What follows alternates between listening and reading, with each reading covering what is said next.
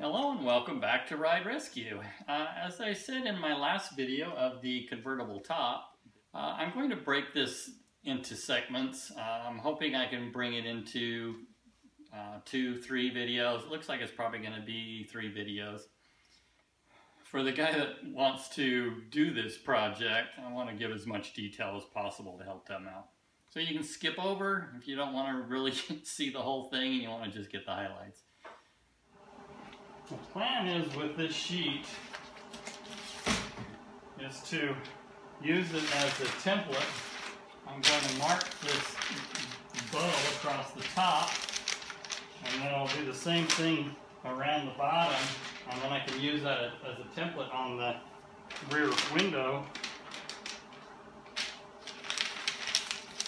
and hopefully I'll be able to line that all up without using this this piece on top of that other window, the new window, and making any scratches or anything in it. They can be buffed out, but I'd rather not. So I'll start with taping this along this edge, and then I will flip it over and go around with the magic marker, and then I can trim it. Now I'm able to pull this vinyl window down smooth keep it tight against the top edge and just mark where these holes are. It won't be exact just because of the stretch and, and it's cold, but it'll be a, a really good starting point. I'll trim this all up and lay it on top of the window and see how it looks.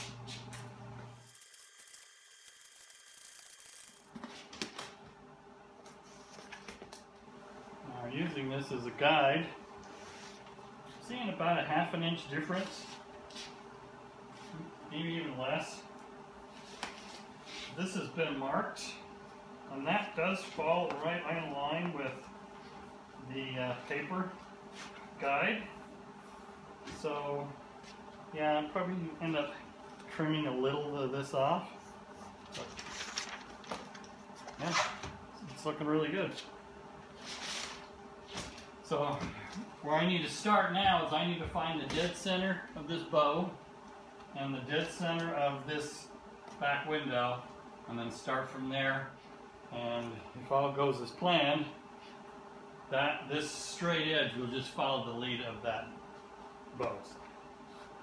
And then I'll just have to work along this back end to get the window down. And that's really just comes down to trial and error there's no real easy way to do it.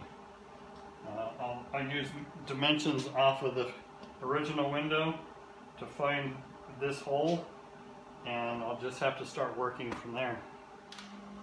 Once I marked up the template, and now I've set the back window on top of that template.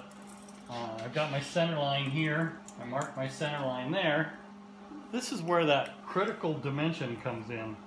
So this dimension on the back window that I pulled out was 24 and a half.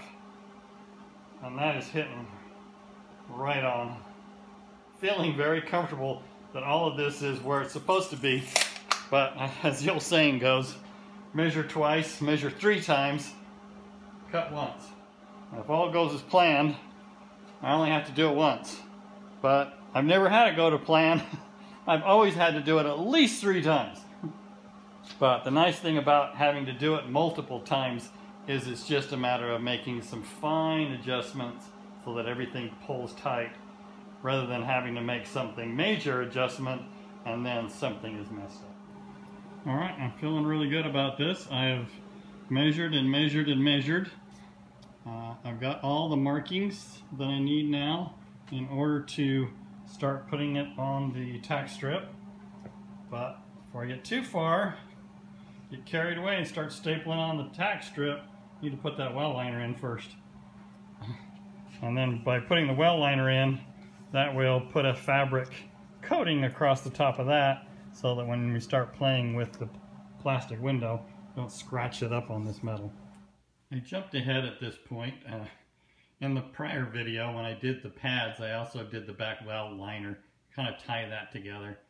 So if you, if you want to see all the details of the well liner, it's, it's pretty simple.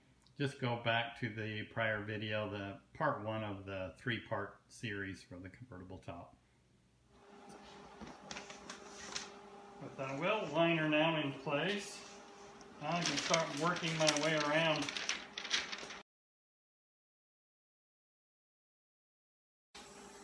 as I work my way around this back window, the side panels aren't as critical to get really smooth at this point. Uh, definitely want to get the final outside top smooth, but this area in the window is probably one of the ones you notice the most. if I go to a car show, I usually always end up seeing wrinkles in here, and typically what that is is you have to have this window pulled super tight side to side, both at the top and at the bottom. And if you don't, then when the sun shines on it and heats it up, it, it will give you a wave across the different areas depending on how it was pulled tight. I like to do my tops in the summer. You can pull it out in the sun, you can get it nice and hot, you can really move it. It's fairly cold today. It's probably 60 degrees here in my garage. So I'm going to have to heat it up with a heat gun. It's really difficult to do. You have to warm it and warm it and warm it and then hurry and staple it. And not warm it too much because you can distort the plastic.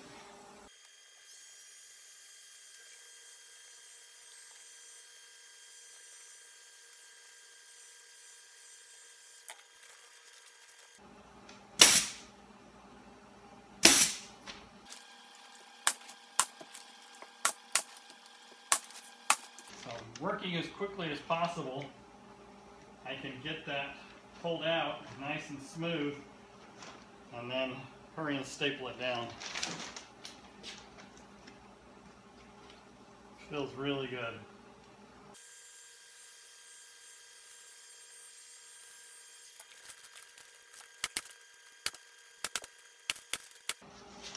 I'm not real happy with this little buckle right here. I'm going to pull that these two out. I'm just going to bring this down a little bit. Should smooth that out.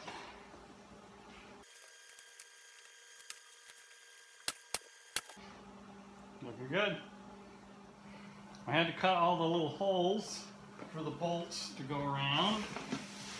Now I'll get this slid into place and I'll bolt it in and then I'll be able to do the final measurements and hopefully staple the top of this window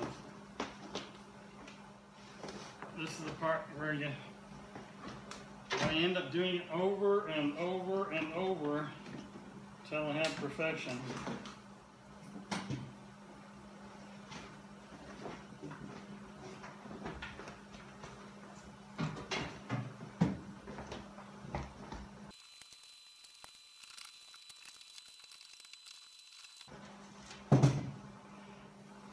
Whew, finally out from underneath there.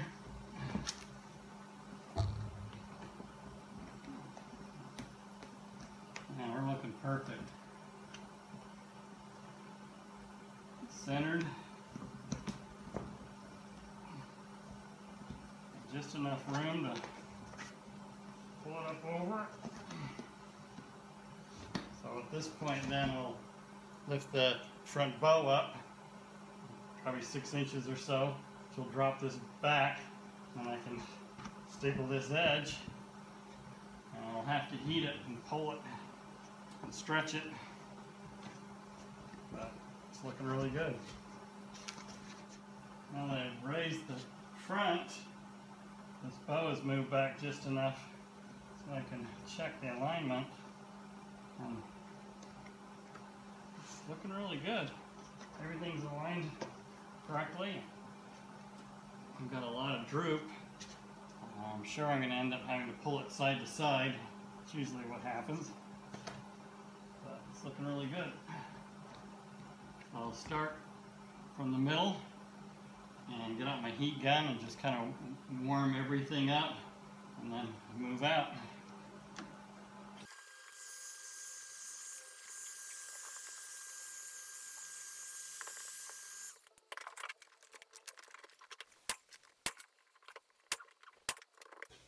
Got some pretty good tension side to side. Warmed the whole area up as much as I could. Now I'll warm it all again and then I'll put the top down and latch it and that should pull all the tension on the pads as well as the back window. And if all goes as planned, everything should tighten right up. I'm sure I'm going to have to, to adjust the sides of these. I always end up having to adjust them, but we'll see.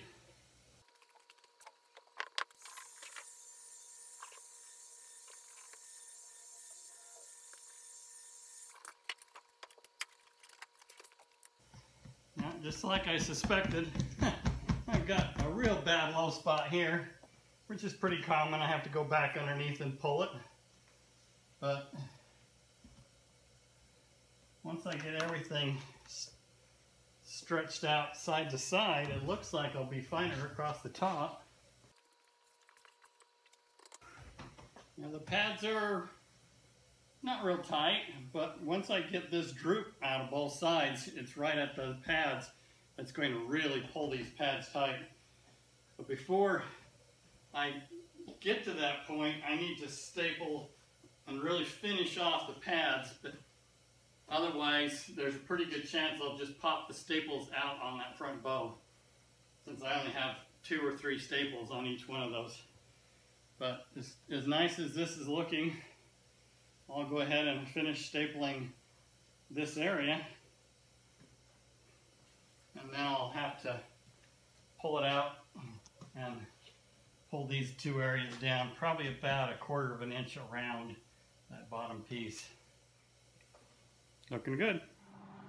So what I did is I marked on here my estimate of how far it needs to be pulled down around. So basically what I need to do is remove all of the staples from the center out and then I need to pull this area down 5 sixteenths to 3 eighths. I'll probably start at about 5 sixteenths. I don't think quarter will quite be enough. And then just bring it around to this area. I don't think I need to bring this down a whole lot, but an eighth of an inch is probably a good place to start. So this is one of those where it's just trial and error. Um, as long as you don't go too far and cut these holes where you end up with a hole up on the top of that brace. So it's good to, to start where I did, have it a little bit loose and then just slowly tighten it up. I'll start with marking this area since this is where the chop works the best. And now I can see exactly how much I need to move it.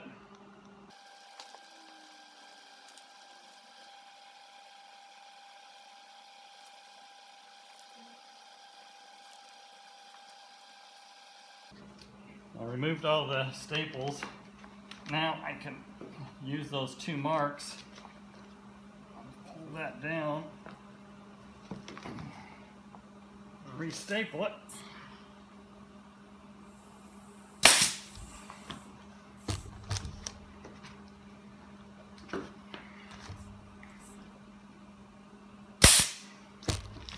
It'd be nice if I could just do a few staples, just kind of random, but there's so much pressure, it just, it'll either rip the material or pull the staple out. So you have to put in quite a few staples in order to test each time you remove it and put it back on. And then you have to recut the holes each time as well. But at this point, now that I know I'm safe to trim all this off, I can trim it and get it out of the way. It's stiff when it's cold. I'm gonna have to heat it up.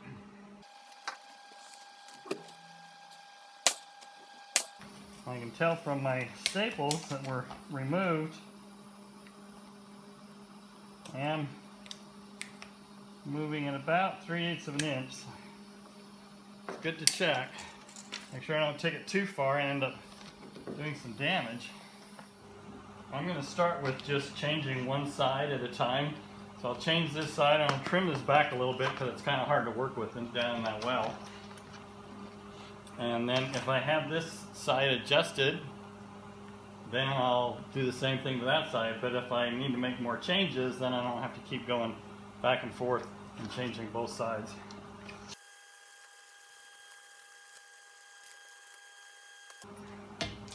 Now I need to go and recut these holes. And I just use a razor blade for those. You have to be really careful not to go too high.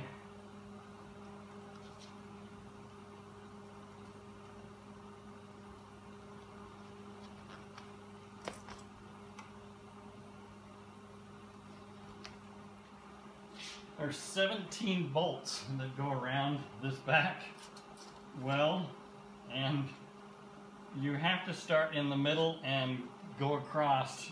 There's just no other way. If you try to start from this end, you can't get anything to line up.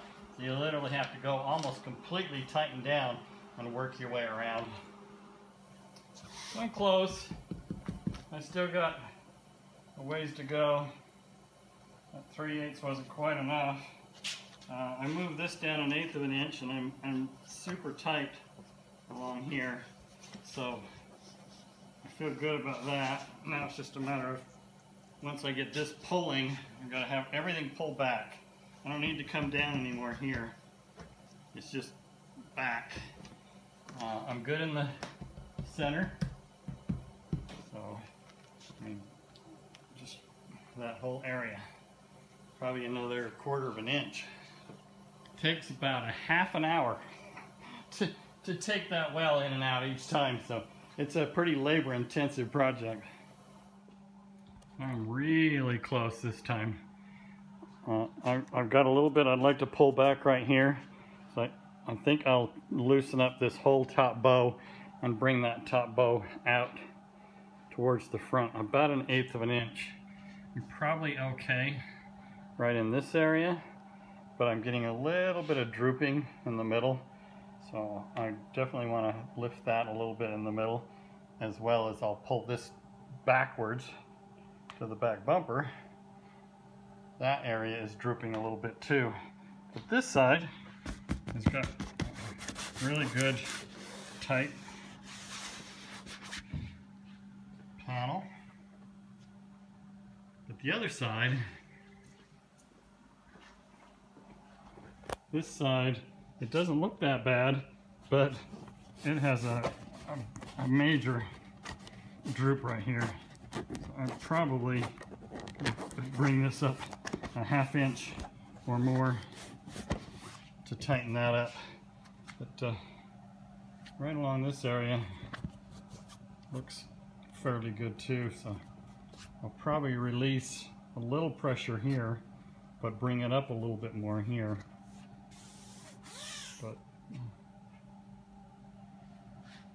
I think I'm getting really close. I have to take this back bow out again anyways to put the top on. So I'll make some minor adjustments right along here, right along there, and right along the top. And we're getting really close to getting this back window done. I double checked the dimension down the middle of that back window and I have crawled about a quarter of an inch back this bow has. It's, it's coming this way, a quarter of an inch too far.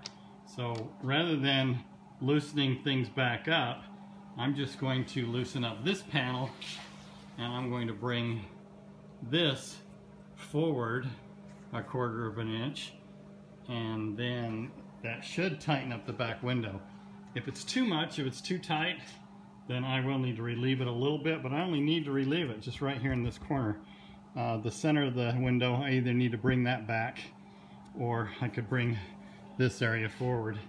But I think once I pull these pads, and these are really good quality vinyl pads, so I think they'll take a lot of stress and I have the heater on in the car, so that'll heat this back window up enough that I think I can stretch that window with these pads and get everything where it needs to be. If not, I'll make some adjustments when I pull it out to put the top on. So I went ahead and loosened the pad up and I took all the staples out, like the front here, and I marked it with chalk and I moved it forward about 3 eighths of an inch on both sides. So this is where I have to be really careful because this is where you can start to stress things and start ripping staples out. So I'll lower this down gently and then I can watch to see where the stress points are, if any, before I really start cranking down the pressure. Well, it's looking really good. But before I latch these down, I'm going to get it really warm inside the car. I'll leave the heater on, close the doors, put a cover on it, really warm up this back window, and then I'll clap it down. It's not real warm in there, but it's it's getting fairly warm, and the back window's not really cold to the touch. So let's try it out. Hopefully, I don't stress it out too much. Let's definitely pull it too far for the latch. The latch won't grab. There we go.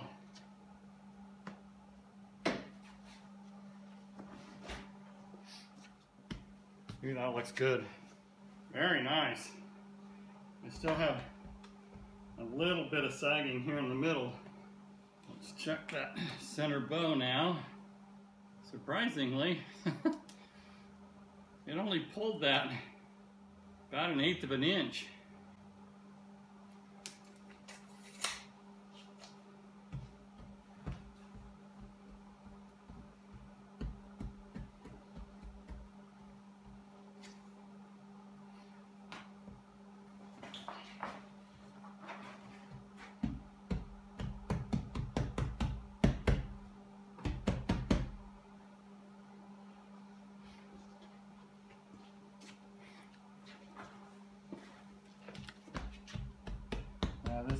Pretty tight. I think to play it safe, I would like to go about another eighth of an inch. So I'm going to loosen up both of these corners and then I won't need to loosen up the middle. And that should take this little bit of a low spot here out and a little low spot here out just by relieving the pressure on these. And then take some of the stress off of these top pads so it's not so hard to latch. Pretty difficult to get those latches to, to catch before you can close it. But it looks like this is where it needs to be. So I can tighten that down. I think this is good now too. I'm getting close. Well, this side's done. This side is so close. But I relieved it just a little too much. And now it's got a little spot. So, can't have that. So one more time. And when I pull this, it'll take this these wrinkles out too. Wow, I finally have back window perfection. Now I can start putting on the top. Well, thank you for watching this uh, little segmented series of three videos for uh, the convertible top of the this 69 Camaro convertible. Appreciate you watching. Uh, I tried to squeeze in as much detail as I could.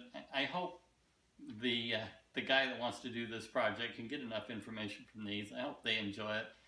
And if you wanted to just see how it's done and skimmed over it, I really appreciate you watching give me a like, subscribe if you haven't, leave me a comment, love to hear from you. Thanks again, goodbye for now.